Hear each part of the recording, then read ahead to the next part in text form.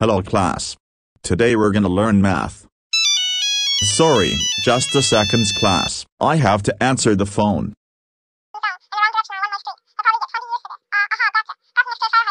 I see.